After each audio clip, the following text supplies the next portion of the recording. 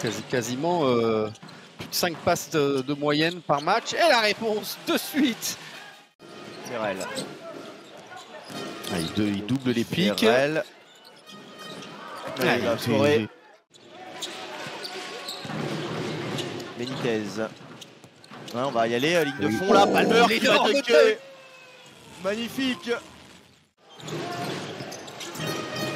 Bonne passe, Oh là c'est ouvert et ça va dunker. C'est Julien, la passe à l'intérieur, elle est bonne. Ah, ouais, très ça, belle c'est bien ça. Entre Bourg-en-Bresse et, et Ljubljana, 44-41. Et ça démarre Allez, bien avec ce Léoup d'entrée de jeu.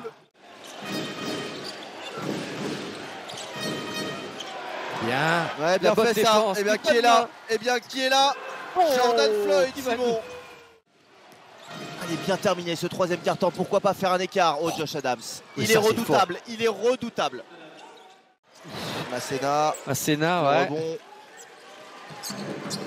Bonne Ouais, bonne passe. passe. Très bonne passe, Axel. Et le panier avec la faute.